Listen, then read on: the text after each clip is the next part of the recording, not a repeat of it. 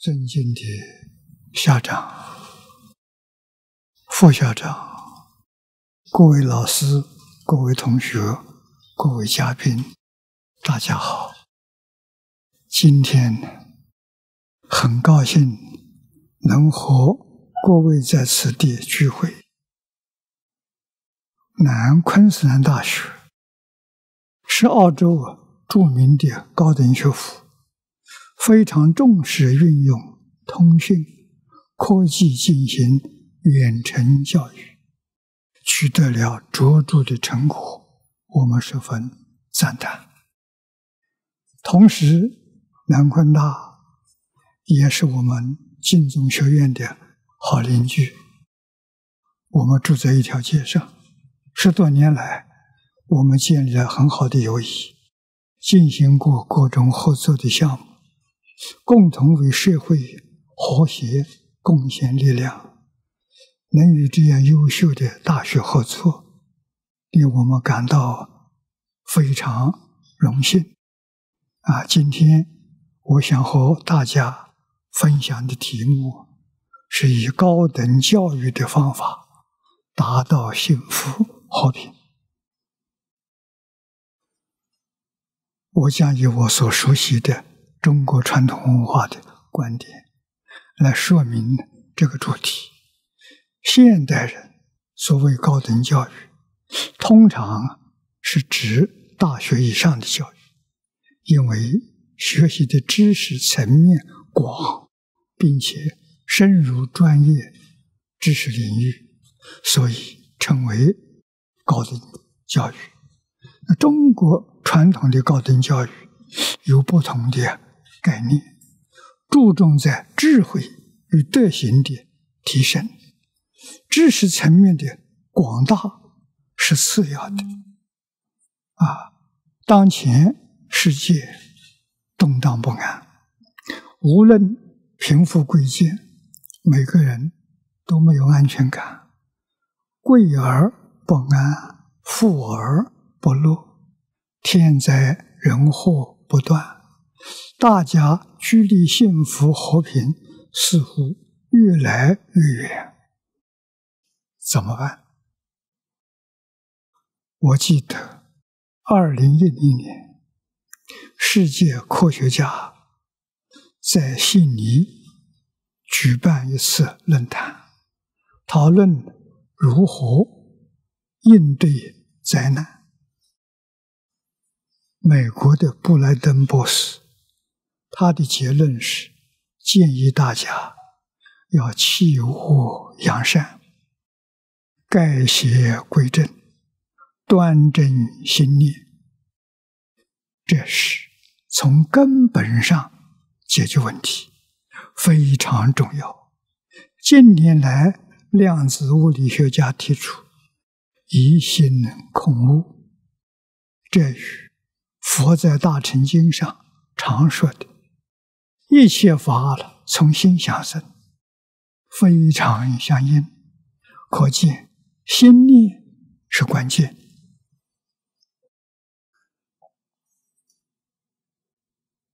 我们下下面呢分开来讲。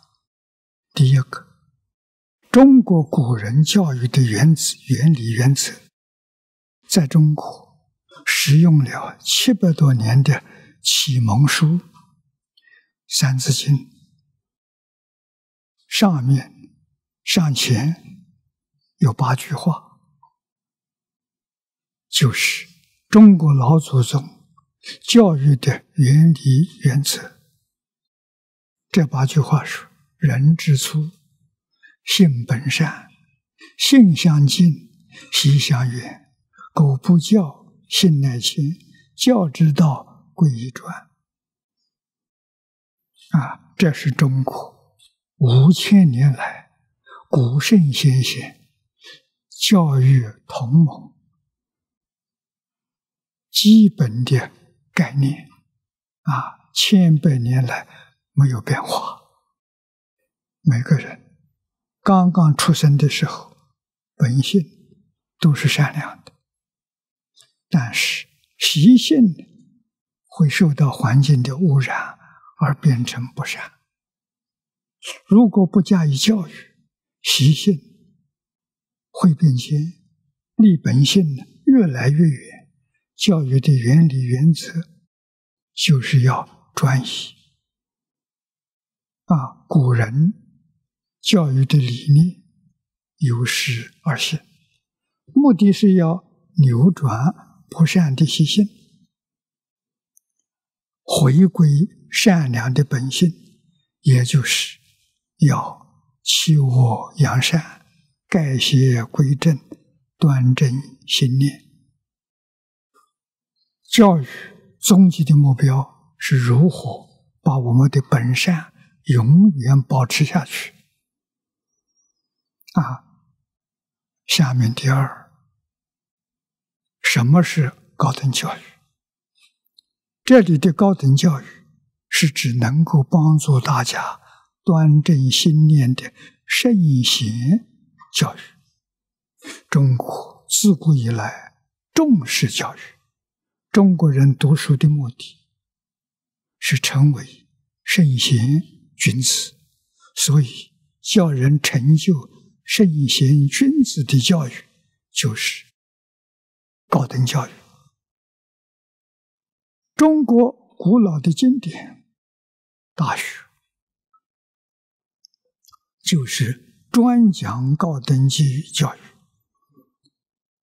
他一开头就说：“大学之道，在明明德，在亲民。”在止于至善，高等教育的宗旨在于显明自己本来光明的性德，也就是回归善良的本性，在于亲近人民，使大众都能够显明心性。回归本善，在于达到完美的境界。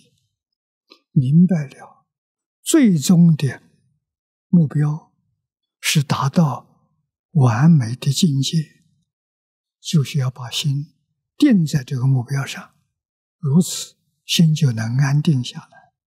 心安定之后，清明的智慧就会显现出来。有了智慧。就能有所成就。大学有说：“自天子以至于庶人，一世皆以修身为本。”这是说上自国家领导人，下至平民百姓，全部都是要以修养品性、端正心念、修身作为根本。这个范围。很大，意思是所有的人都应该修身，应该应用在今天的大学教育里头。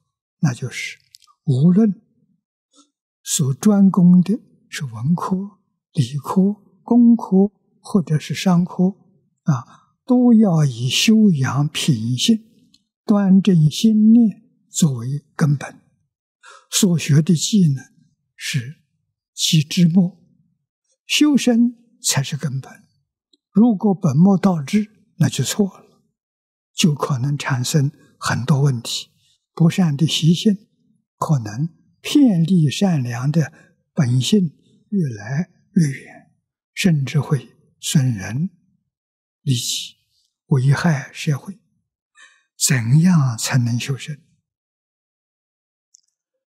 这就讲到要。格物致知、诚意正心啊，格物就是放下了对物质的欲望，格是格斗，是格处啊，格物是跟自己的欲望、贪嗔来打仗，战胜自己的物欲，放下自己的。自私自利，放下贪嗔痴慢疑，这个五毒的烦恼，这是教育的大根大本。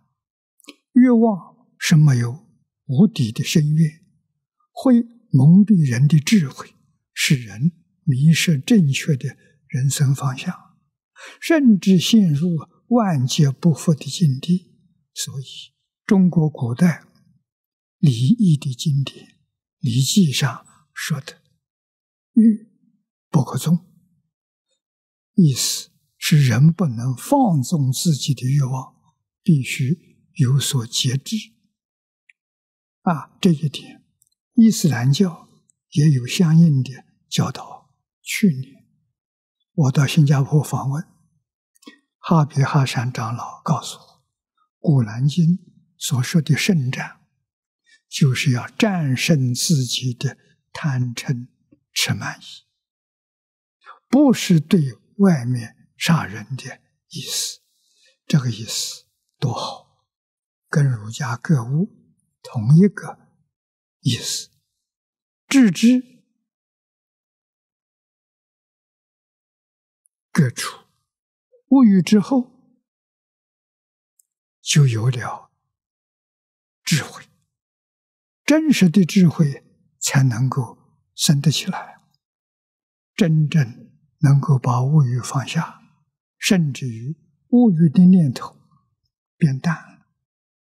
都能感到头脑清醒的，这个智是真智，是人的良知良能，也就是本来光明的心性。大学里叫明德啊，这个智慧啊，这是真智慧。各无可以达到极定的目的啊，而智智之呢？是从定起照，升起关照的作用，这样才能成就智慧。啊，一天到晚，眼睛看到的，耳朵听到的，六根接触到六尘境界，全是学问，全是智慧，这才叫智智。这比经本的范围大的太多太多了。置之而后啊，才能成意，就是至诚心，没有一丝毫的虚伪，也就是真心，大菩提心。各无是放下烦恼障，置之是放下所知障，这两种障碍放下之后，才能够恢复自信的智慧光明，真心就显露了。这就是。圣贤，这就是神圣真心，就是真心所起的作用。对于自己而言，是好善好德的身心之心；对别人而言呢，是救苦救难的大慈大悲。以上各无知之诚意真心。是修养品性、端正心念，是内学。啊，中国古人讲，这个内是以真诚，啊，外是以慈悲救度一切众生，啊，端正心念是内学，啊，所以说内圣外王，啊，是内学。自觉也就是。高等教育，或是圣贤教育的根基。后面的四条，修身、齐家、治国、平天下，这是外王啊，也就是怎样教化众生，怎样同理大众，而是觉他，也就是高等教育或者是圣贤教育的运用啊。第三，什么是幸福？这个地方。所说的幸福，就是大学上所说的修身齐家。啊，修身的喜悦，我们可以从《论语》第一章看到。翻开《论语》第一句话，孔子说的：“学而时习之，不亦说乎？”啊，这就是把学习的目的、修身的受用全部给我们说出来了。我们为什么要学习？为什么要跟古圣先贤学习？啊，为什么要修身？啊，修正我们的思想，修正我们的言语，我们的行为。啊，为什么要学习？为什么要修身？就是孔老夫子在《论语》上这一句话：“不亦乐乎？快乐啊！那不是很快乐的吗？”啊，换一句话说，就是为了人生的幸福。家庭和睦，社会和谐，啊，悦是喜悦、快乐。这个快乐从哪里来的？是从学问来的。啊，学了之后要把它落实在生活，落实在工作，落实在处事待人接物上，这就叫习。啊，习是落实。啊。落实圣贤教诲，真是快乐。自己快乐，别人也快乐，不亦乐乎？这就是早年。我二十六岁，啊，跟方东梅先生学哲学。方老师告诉我，人生最高的享受。用佛家来说，就是法喜充满；用孔子的话来说，不亦乐乎？啊，落实圣贤的教诲，现前的受用，就是快乐无比。啊，这个快乐与社会地位没有关系，财富没关系。啊，孔老夫子是平民。啊，没有做过高官，他也没没有财富，他比谁都快乐。啊，我们自古至今所看到的，中国最快乐的人是孔老夫子。啊，那么回到佛教来看，佛教里面最快乐的释迦牟尼佛。我们学佛学儒，为什么快乐一生呢？这就是这幸福啊！身修而后。起家，我们身修正修好了，把自己本分做好之后，这是修身。身修好了，你的你在家庭决定影响你一家人，使一家人和睦，你的家就珍惜了，家道就兴旺了。所谓家和万事兴啊，那么你的事业很顺利。在团体里面也如此，你身修好了，决定影响团体成员，团体大众尊敬你，以你为榜样、为模范，大家都向你学习，你的言行足以成为同事们的好榜样。团体上下和睦，这个团体就会兴旺，团体就会好了，决定会影响你的邻居。你的亲戚朋友，他们看到你们这一家这么和睦，这么欢喜，这么团结，啊，这么合作，这么兴旺，所以大家都向你学习。啊，中国有一家企业董事长，自己依照古圣先贤的方法来学习，啊，自己修身修好了，用传统文化来管理公司。教育员工结果很成功，啊，现在出名了。外国不但有很多的团体，还有很多国家领导人都去参观，向他学习。他怎么管理的？怎么管理的那么好？没有别的，董事长自己先做到了。啊，他做什么？就是我们这些年常常提倡的《弟子规》呀。他把《弟子规》做好了，啊，然后再介绍给员工，啊，把员工看成一家人，把员工看成他的兄弟姐妹，啊，对员工的家人、员工的父母、员工的子女，都真诚的关照、照顾，所以他做到修身齐家。那么。整个公司上下每一个成员都非常幸福快乐。啊，第四，什么是和平？这个地方所谓的和平，就是大学所说的“治国平天下”。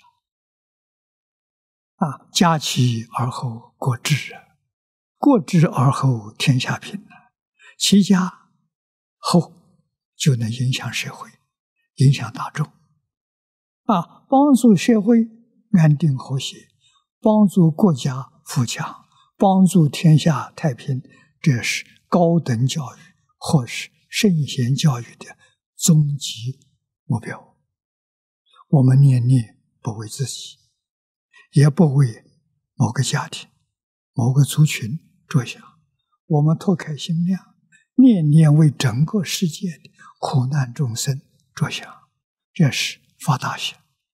我们希望这个世界能够安定和谐，互相尊重，互相包容，互相敬爱，互相合作，这是发菩提心，是认识到万法一体。人我不二的心，是求觉悟的心。平天下是什么意思？平是公平，天下众生都得到公平。怎样才能得到公平？就是要平等对待，和睦相处。平等对待是平的真正的意思，和睦相处就是和的意思。如果国家，与国家之间，政党与政党之间，族群与族群之间，宗教与宗教之间，都能做到平等对待、和睦相处，就能带给全球众生幸福美满，带给世界安定和平。这四桩事要从宗教团结下手，毕竟。这个世界上，信仰宗教比不信宗教的人要占多数。那么现在流行民主制度，换一句话说，信教人的选票比不信教的人选票多。如果宗教能团结，宗教能回归教育，能互相学习，就会影响国家，影响政党，影响族群。带给社会安定和谐，带给世界长治久安。啊，第五，因果汉学院的成立，中国这一套格物致知、诚意正心、修身齐家治国平天下的高等教育，圣贤教育的智慧理念、方法、经验与效果，完整的记载在。四库全书与四库会要之中，这是全人类共享无比珍贵的文化宝藏。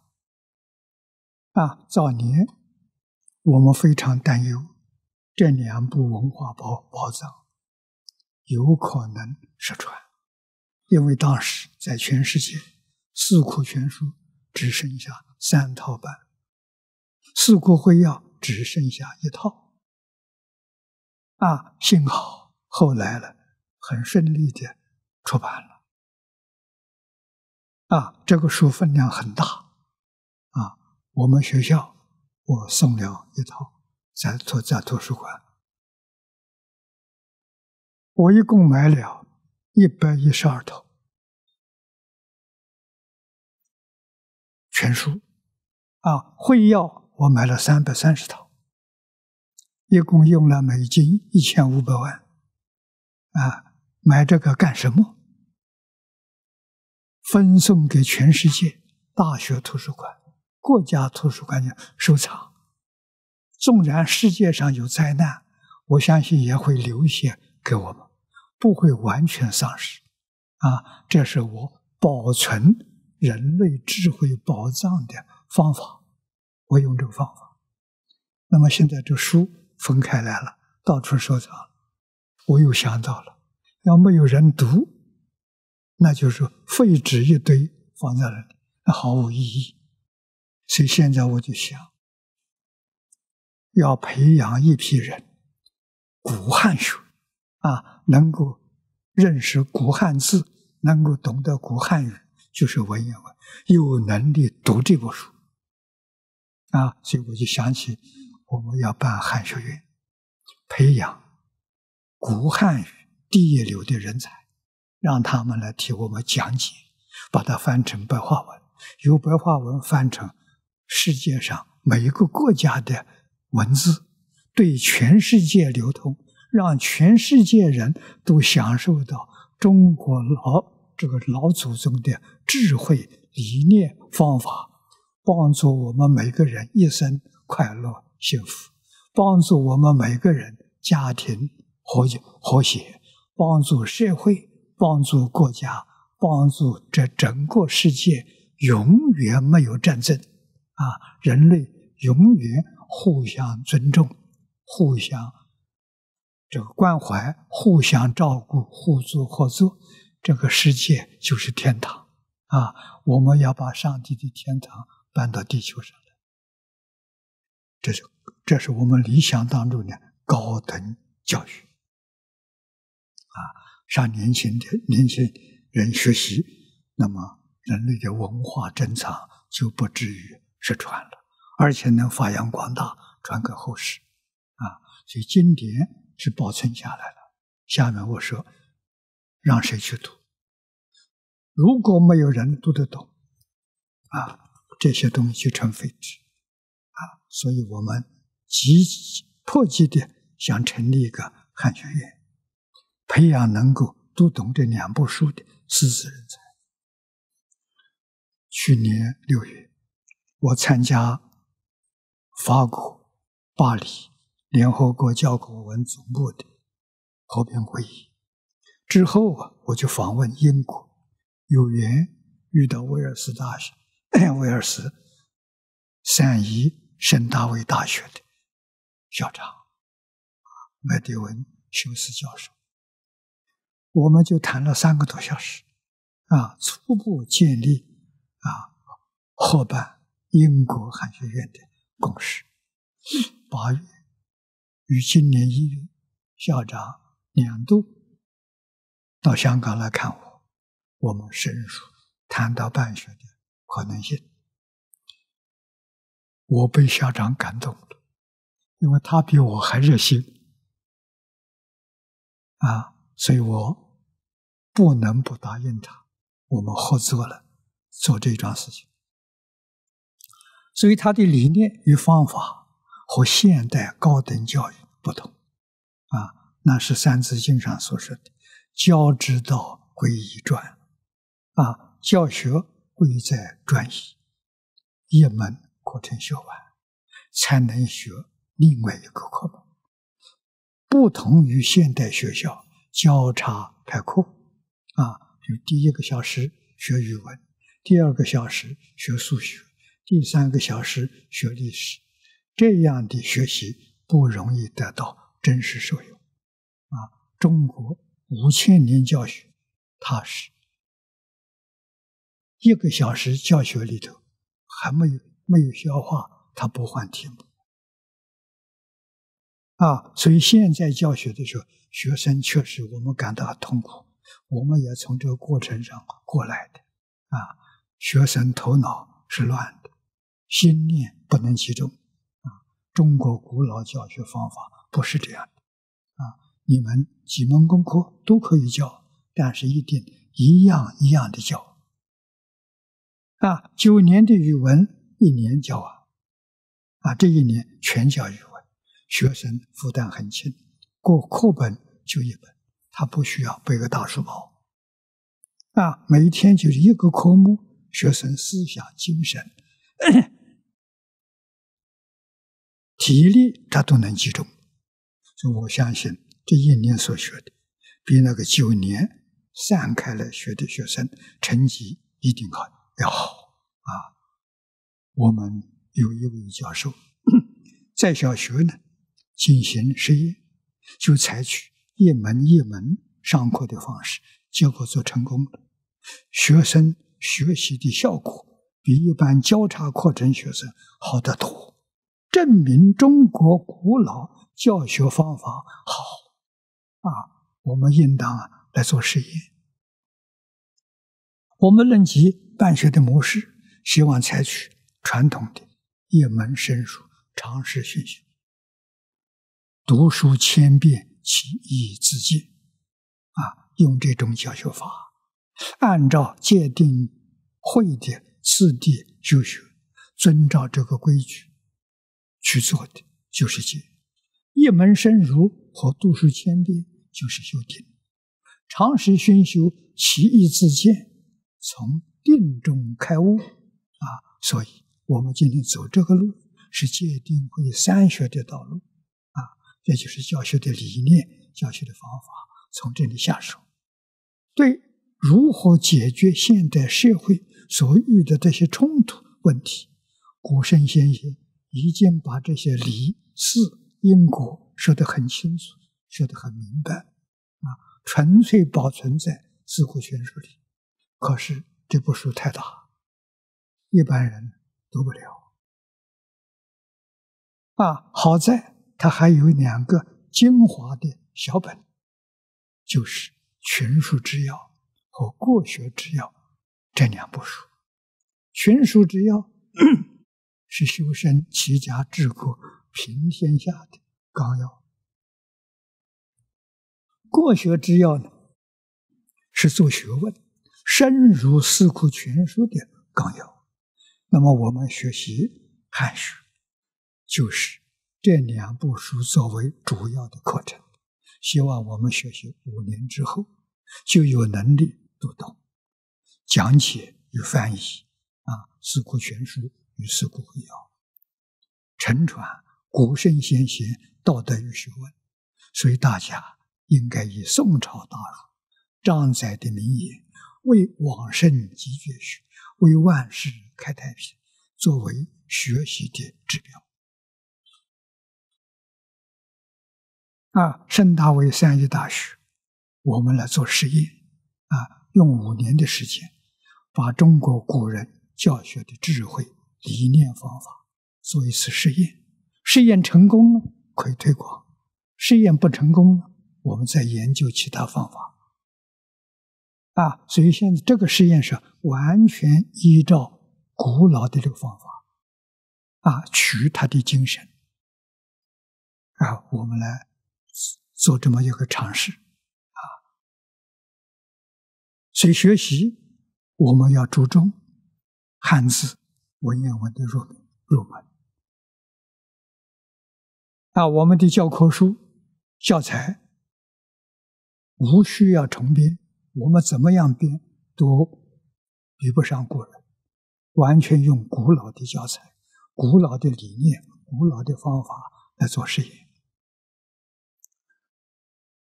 所以。文字学就很重要了啊！那么汉字文言文也在《四库全书》里头，《四库会要》《过学之要》《群书之要》里面通通都有。所以汉字文言文是汉学的入门钥匙。得到这把钥匙，你就能够自在如意的从这些宝库汲取老祖宗五千年的智慧经验的精华。为自己所用，汉字是现代世界上仅有的现存表意文字。表意文字的特点是，它不随着语言改变。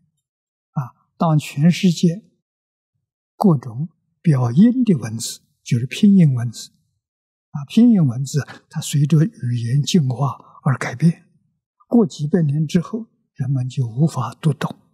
表意的文字却一直保持不变，啊！而中国幼儿园小学生朗诵的“床前明月光，疑是地上霜。举头望明月，低头思故乡。”啊，这是一千年前唐代的诗。啊，现在学生啊，中学生朗朗上口，“学而时习之，不亦乐乎？”这是两千五百年前孔子留下来的名言、名句啊，这些文字，今天中国人读起来毫无困难啊，几千年之后读起来亦复如是。所以文言文是古今不变的书面文体，可以毫无障碍将几千年古人的思想用这个方法传递给我们，我们也能够懂得啊，不会错解他的意思。那么同时，我们也可以将我们现在人的思想。传递给几千年、几万年以后的人，我们所写的东西，他能看得懂啊，他能够明了。要用汉字文言文来写，来哎做这个工作。那么有这个场有例子，大乘佛法传到中国啊。我们今天读这个中文大乘佛法的经典，完全是汉字文言文，我们能够读得通。能够理解啊，所以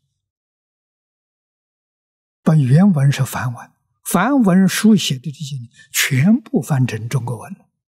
以后梵文经典呢不要了啊？为什么？那是拼音文字，两三百年之后没有人能听懂啊。所以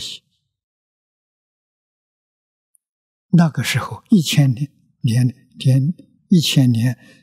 呃，以上的，这是，呃，像从汉的话，将近两千年的，啊，这个佛经传到中国，全部译成中国汉文为文。那我们希望全世界，啊，全世界有价值的东西，值得流传于后世的，通通要用汉语汉字文言文来写作。才能保持千年万万世永远不变，啊，让大家都能够听得懂，都不至于产生误会。汉字文言文有这个好处，是中国千五千年前老祖宗发明这一套这个汉字文言文，是高等的智慧，是了不起的发明啊！他给我们帮了大忙啊。让我们突破了空这个时间，古今贯通，没有障碍啊。再往下面的时候，对将来也通，也不至于有障碍。所以汉字文言文是绝学，汉字文言文要大力的来提倡啊。我们得到这个圣三一大学校长的认同啊。所以我非常欢喜。那么有心深入汉学的学生，必须先学中国的文字学、音韵学、训诂学。啊，文字学是文字的结构，为什么要这样写？音韵学是读的音声，啊，训诂是他表的意思，啊，表的一些智慧。以及精通文言文，那么这些基本功对他们未来深入汉学了有很大的帮助，因为这些学问是中国传统文化圣贤教育命脉之所系，要精通中国传统文化，圣贤教育就少不了这些基础，但是今天。学习这这这些冷门科目的人越来越少了，所以这些是真正的绝学。那么精通这些学问，这些老教授逐渐凋零。如今啊，如果今天我们再不能努力将这几门绝学传下去，过几年，我想十年之后啊，学者专家都过世了。那么这一种学问就失传了，那将是人类文化无与伦比的大损失。希望有更多的人发心来继承这个绝学为己任。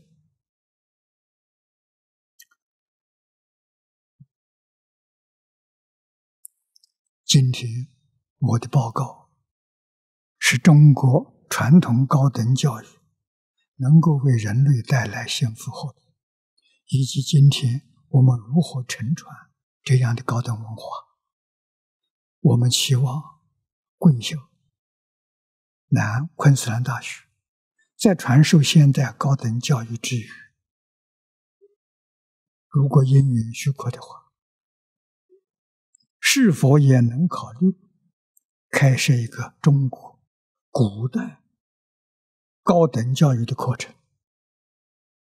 就是古汉文，这样呢，可以古今中外合璧互鉴，互取长处，相信对社会、对国家、对世界将有将会产生很大的贡献。特别是如果能进一步。开展对这方面的远程教育，让世界各个民族宝藏文化遗产，在全球各地都能得到广泛的学习和继承，让个人的安乐、家庭的幸福、社会的和谐，乃至于世界和平，都能通过高等教育得以实现。我们相信，这真正能够做到为往圣继绝学。为天下万事开太平。最后，祝福大家身心安康，六十吉祥，光寿无量。祝福澳洲国泰民安，国运昌隆。祝福世界安定和平，大同盛世。谢谢大家。